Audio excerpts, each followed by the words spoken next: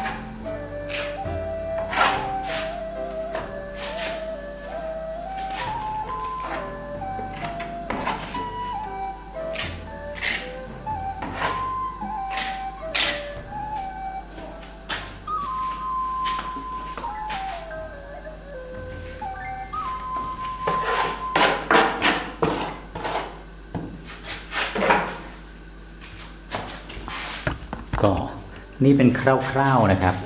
งวง หัวช้าง แล้วก็งาช้าง เดี๋ยวผมจะใช้มือนะปกติต้องใส่ถุงมือ แต่ตอนนี้แบบว่าไม่ได้เตรียมพร้อมนะครับ ก็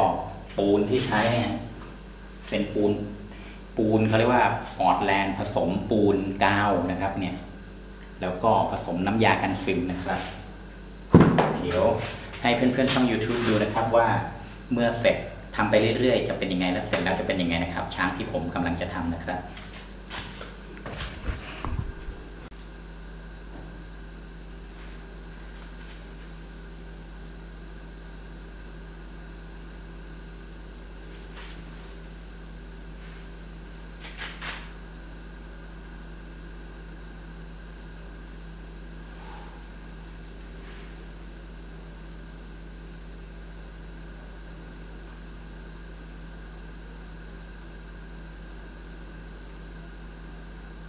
ก็ผมจะใช้วิธี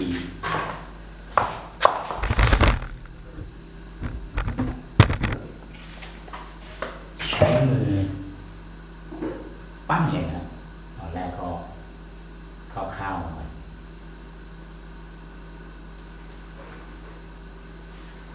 ถ้ามันเหนียวก็ใช้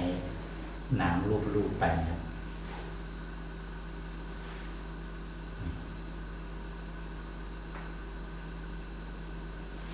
ปั้นช้างนะ เป็นส่วนหัวของช้างนะ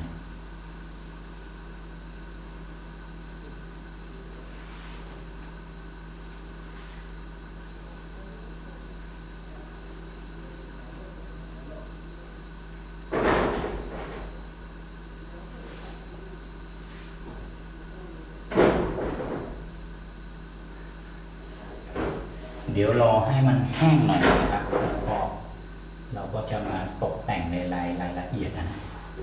ตอนนี้ปั้นให้มันเป็นแบบว่าเป็นนูนขึ้นมาก่อน ต่อไปก็ส่วนของหัวส่วนของหาง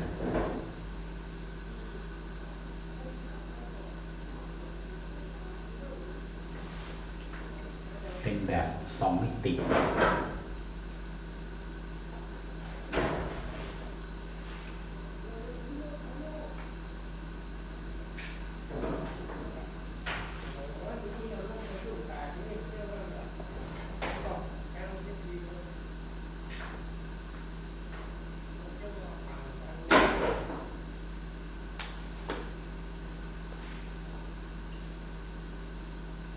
เป็นช้างแบบงายาว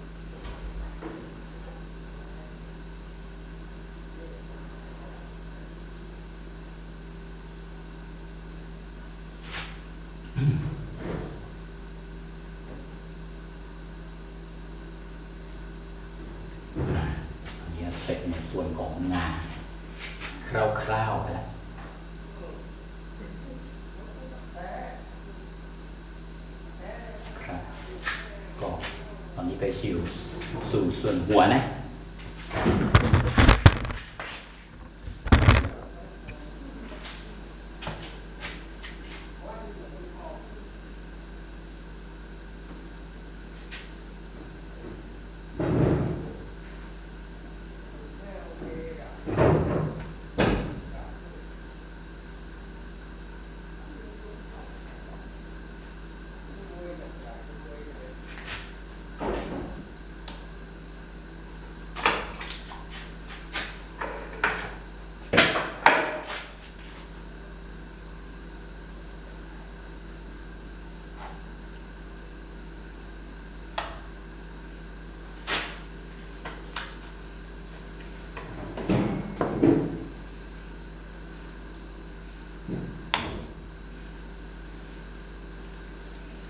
หนึ่องด้วยปูนมันเหนียวนะครับเลยต้องใช้วิธี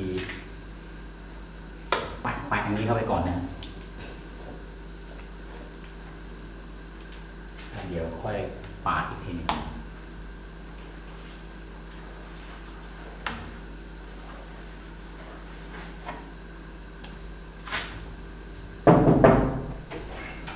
รอแป๊บนึง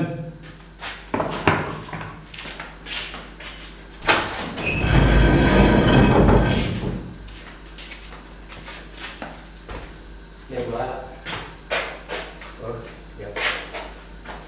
ยาจะเอาฉีดข้างบนไหมไม่เป็นไรอัดอะไรกัอันนี้มันปลาหมึกยักษ์แล้วพรุ่งนี้ค่อยเจอกันได้ไหมรอมันเหนียวคุมลำบากให้มันติดติดๆก่อนโอ้โหใช่ไหมปลาหมึกโอ้โหนี่ช้างเหรออย่าเลิกนี่ก็หาปลาหมึกยักษ์ก่อนอย่าอย่าขึ้นสรุป งานยังไม่นี่ก็จหาบปลาหมึกยักษ์อะปลาหมึกมันใหญ่ๆนะเที่ยวบอกพุทธมีมีคนเข้ามาแซวบอกว่าปลาหมึกยักษ์เหมือนปลาหมึกยักษ์ใช่ไหมน่านี่ตามาเท่านี้พอแล้วน่านี่ก็ตามันฮะนี่หมดมันน่ะหดมันยังไม่เสร็จพรุ่งนี้คอยมาดู ก็มี ยืนสลาสลาน้อยมาแซวนะครับ ช่างที่จ้างมาทำที่บ้าน มองไม่ไรช่างเลิศมองเป็นอะไร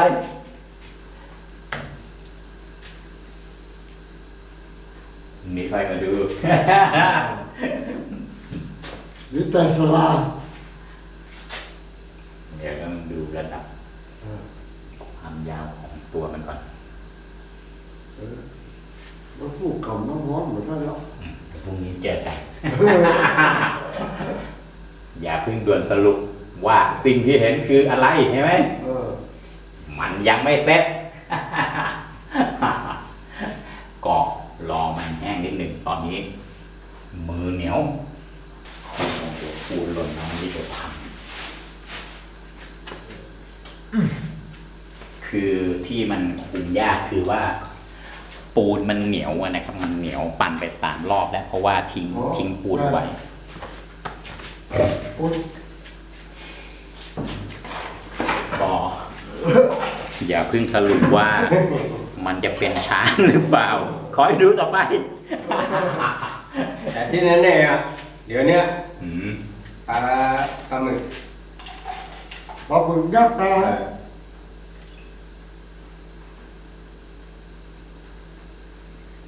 เออ เนี่ย โอ้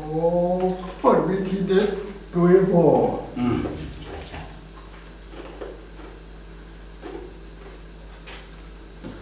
ไป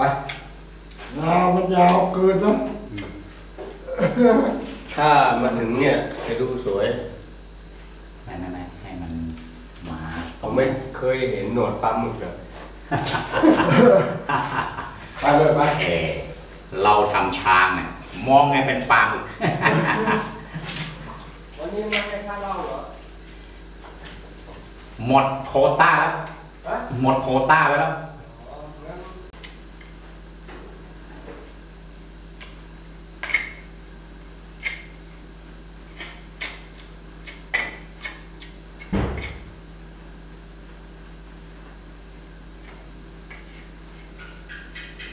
ก็ตอนนี้ผมกำลังทำส่วนของ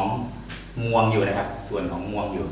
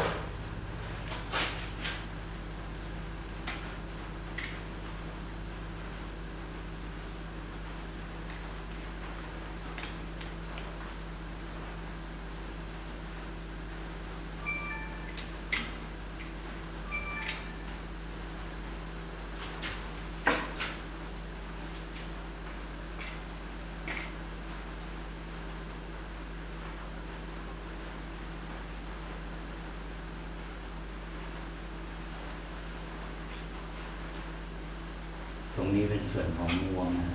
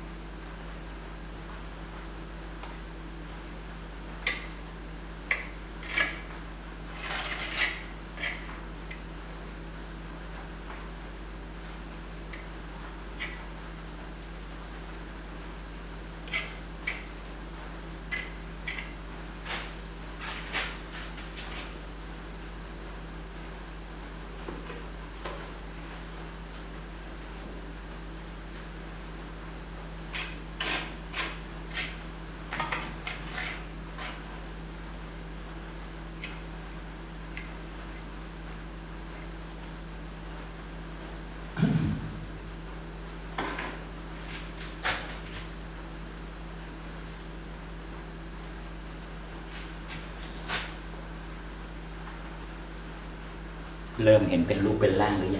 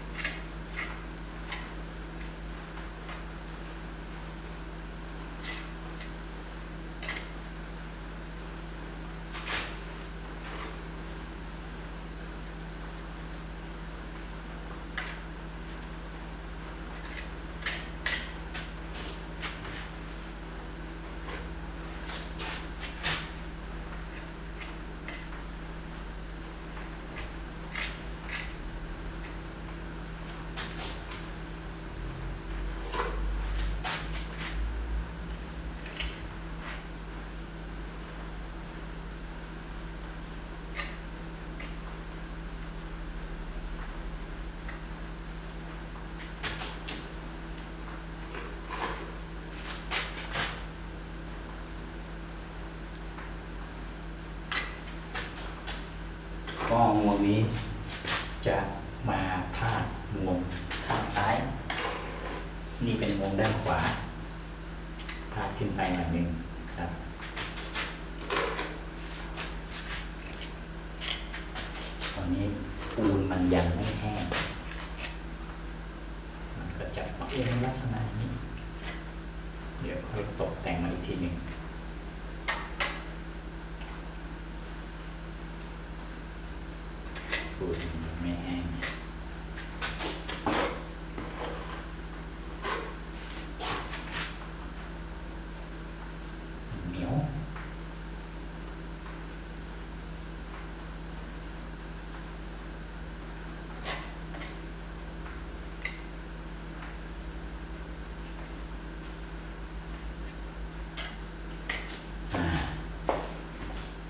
นี่ครับ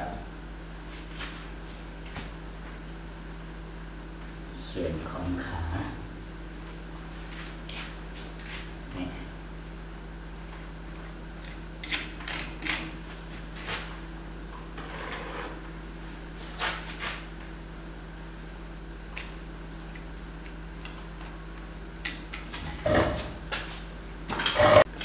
ช้างลงยาว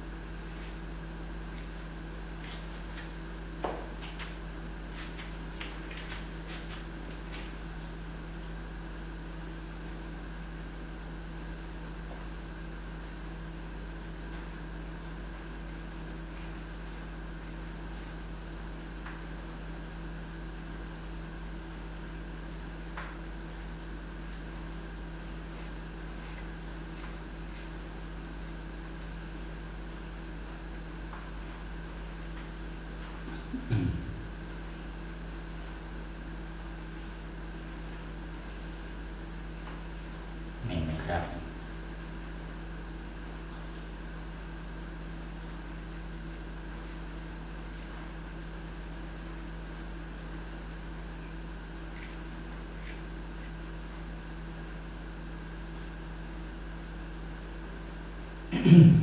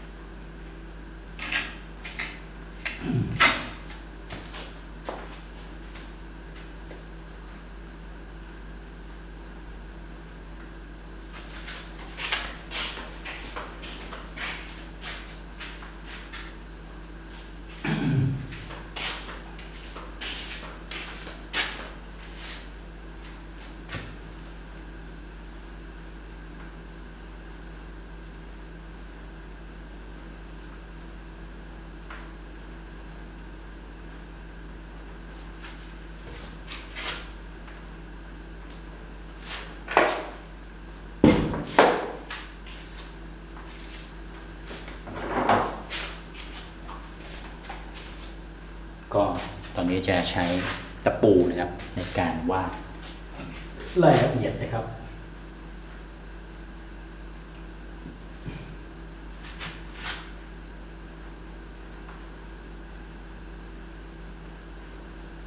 รายละเอียดนิดนึง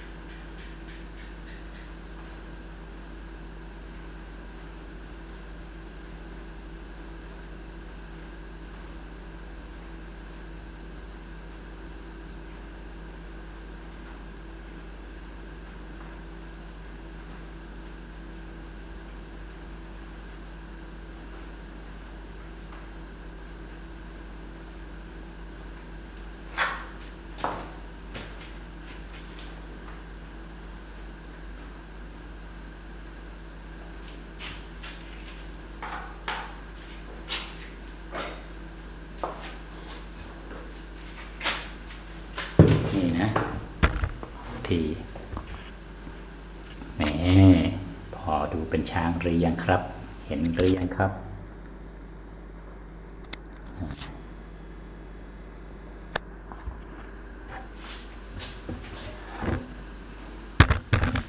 แต่ตรงส่วนหัวเดี๋ยวต้องเพิ่มความสูงขึ้นไปอีกนิดหนึ่งครับ เพราะว่าหัวมันจะค่อนข้างจะยาวนิดนึง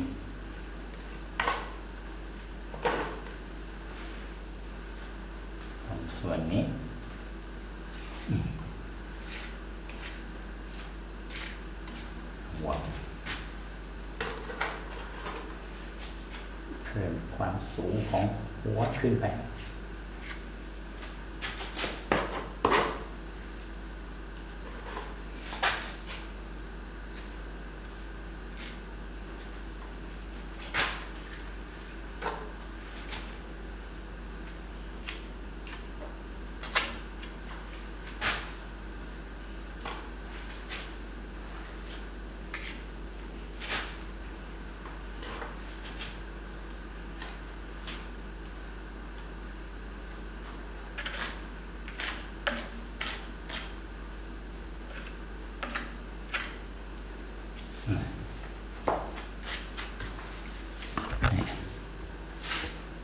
นะครับ ช้างงวงยาวนะ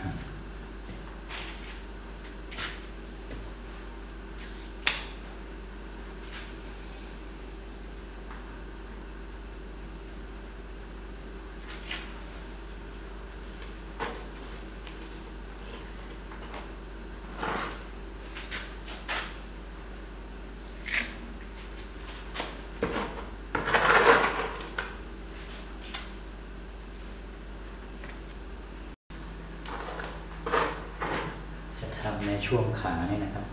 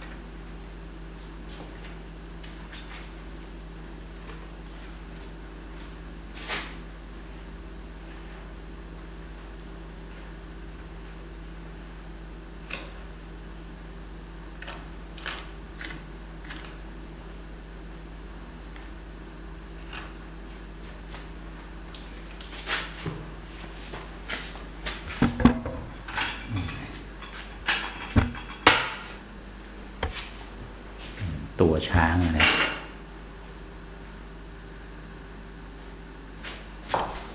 หัวช้างงา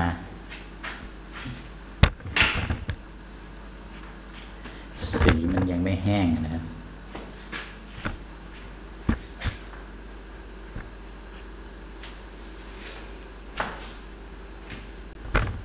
ก็หลังจากนี้ก็รอให้มันหมาดๆนิดนึงเดี๋ยวจะใช้มือในการปั้นต่อนะครับ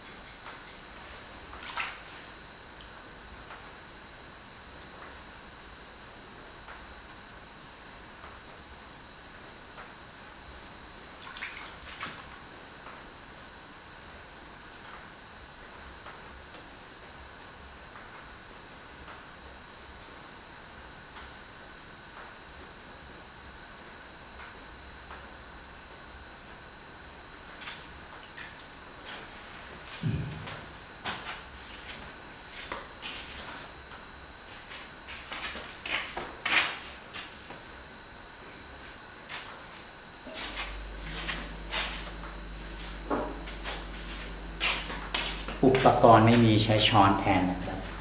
เพราะว่าใช้นิ้วลูบแล้วมันจะเจ็บนิ้วนะ มีสารเคมี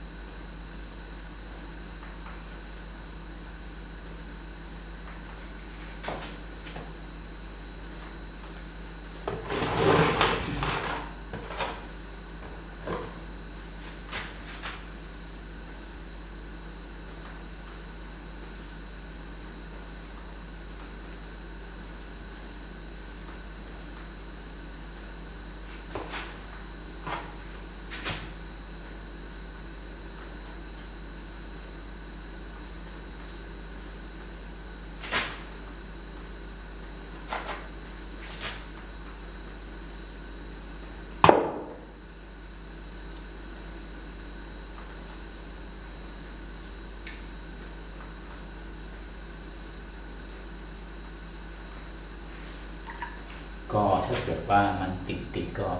ชุบน้ำนิดหนึ่งนะ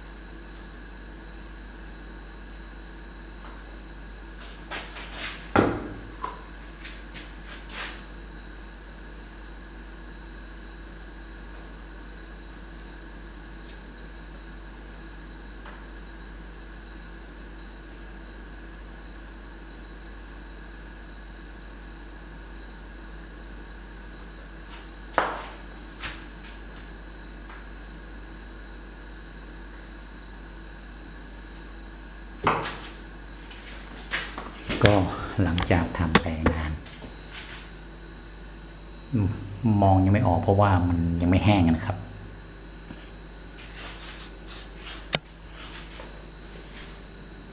แล้วก็มืดแล้วด้วยนะครับ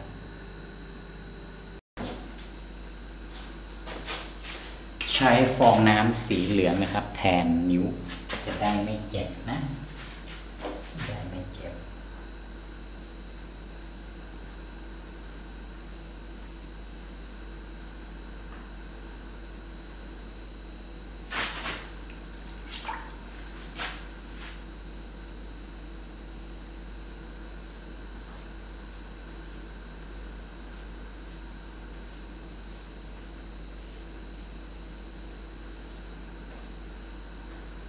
แล้วก็ได้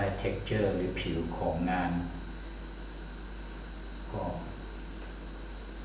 สวยไปอีกแบบหนึ่งคือเป็นเส้นๆ เส้นๆนะ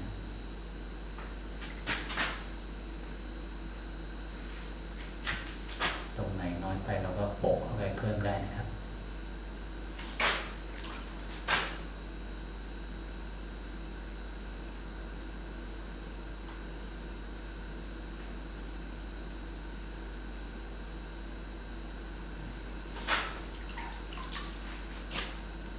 เป็นเส้นๆก็สวยดีนะให้ความรู้ สึกอีกอารมณ์หนึ่ง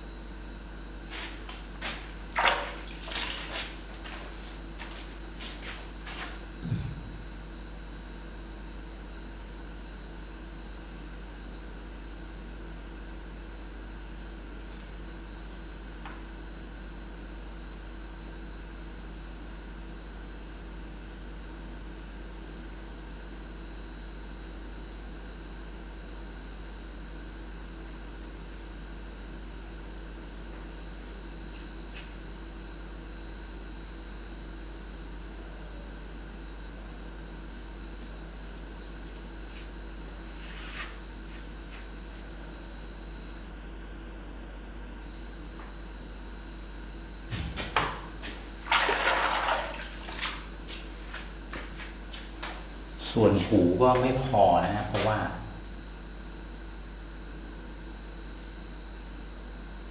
พื้นที่ไม่พอนะครับ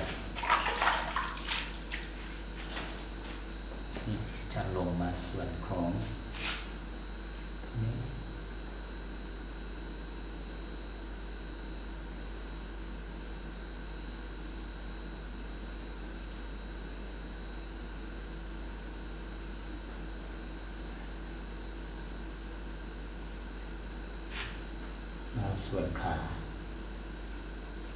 นี่คือส่วนของขา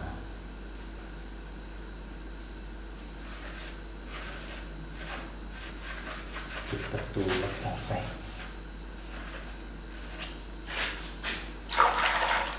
อ๋อใช้ฟองน้ำนะครับฟองน้ำอันนี้นะครับ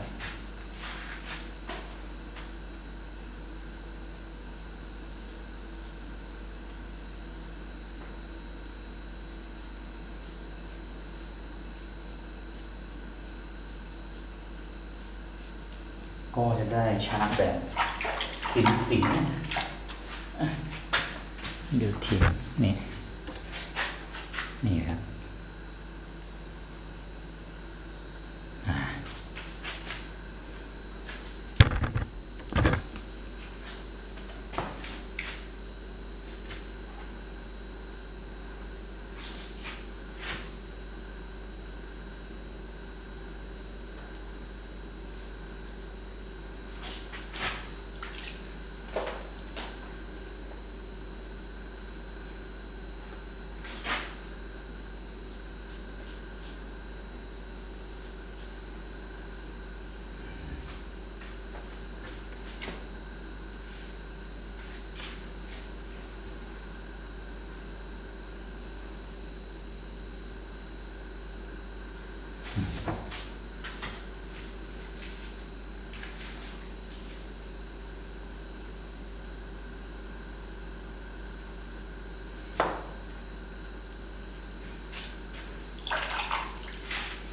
นะก็ ประมาณนี้นะครับ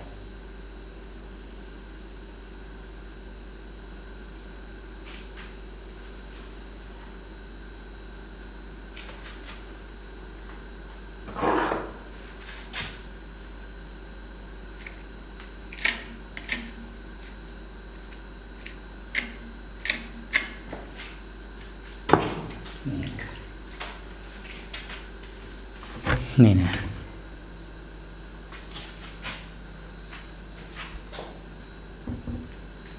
เดี๋ยว ทำในส่วนของงวง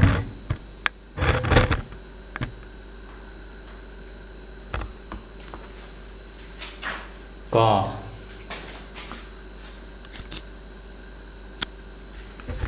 ผมจะใช้ตะปูเนี่ยนะครับ ขีดเป็นเส้นตรงงวงนะ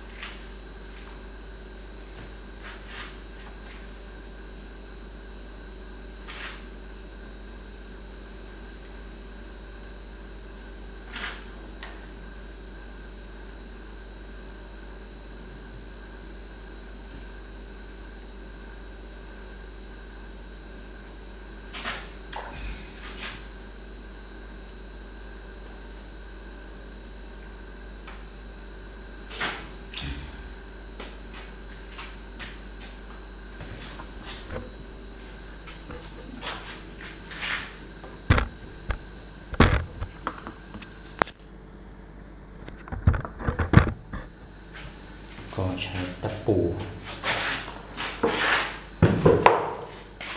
ใช้ตะปูขีด นะครับ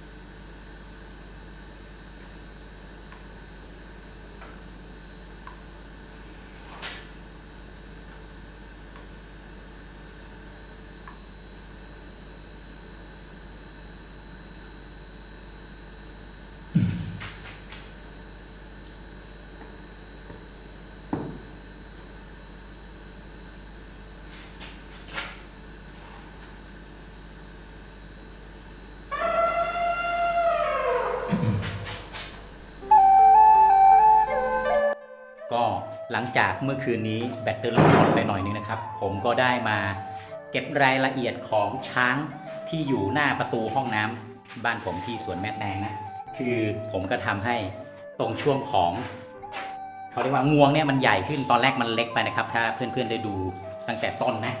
แล้วก็ตรงส่วนขาก็ให้ยาวมานิดนึง เพราะว่าตรงส่วนหัวผมจะทำตัวใหญ่ ตัวใหญ่กว่าที่แบบที่ดูนะครับ